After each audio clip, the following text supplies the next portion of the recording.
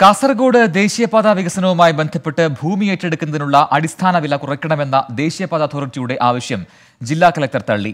അടിസ്ഥാന വില കുറച്ചു നൽകിയ മുൻ ഉത്തരവ് റദ്ദായതോടെ ഭൂമി വിട്ടു നൽകുന്നവർക്ക് മുഴുവൻ തുകയും ലഭിക്കും. ദേശീയപാത വികസനത്തിന്റെ ഭാഗമായി ഏറ്റെടുക്കുന്ന ഭൂമിക്ക് സെന്റിന് അഞ്ച് ലക്ഷത്തി അൻപത്തി എട്ടായിരം രൂപയാണ് അടിസ്ഥാന വിലയായി ആദ്യം നിശ്ചയിച്ചിരുന്നത്.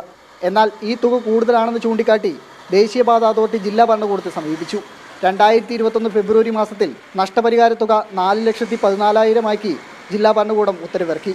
എന്നാൽ ഭൂമി വിട്ടു നൽകിയവരുടെ ഭാഗം കേൾക്കാതെയാണ് ഇത്തരമൊരു തീരുമാനമെടുത്തതെന്ന് ആക്ഷേപം ഉയർന്നിരുന്നു. ഇതിനെതിരെ ജില്ലാ കോടതിയിൽ സ്ഥലം വിട്ടു നൽകിയവർ ഹർജിയും നൽകി. ദേശീയപാതയുടെ നിർമ്മാണ പ്രവൃത്തികൾ പുരോഗമിക്കുന്ന ഘട്ടത്തിൽ പ്രശ്നപരിഹാരത്തിനായി ആർബിട്രേറ്ററായ കളക്ടർ ഭണ്ഡാരി സ്വാഗത രൺവീർ ചന്ദ് നേരിട്ട് പരാതികൾ വിലയിരുത്തി. നിലവിൽ നിശ്ചയിച്ച തുക കുറവാണെന്ന് കണ്ടെത്തിയതോടെ അടിസ്ഥാന വില കുറച്ച മുൻ ഉത്തരവ് റദ്ദാക്കുകയായിരുന്നു. Twenty four Kasaragod. ലോകത്തെവിടെയായാലും ഏത് സമയത്തും ട്വന്റി ഫോർ വാർത്തകളും ഓക്മെന്റഡ് റിയാലിറ്റി പാക്കേജുകളും എക്സ്പ്ലെയിനറുകളും വിശദമായി കാണാൻ ഞങ്ങളുടെ യൂട്യൂബ് ചാനൽ നിങ്ങൾക്ക് സബ്സ്ക്രൈബ് ചെയ്യാം.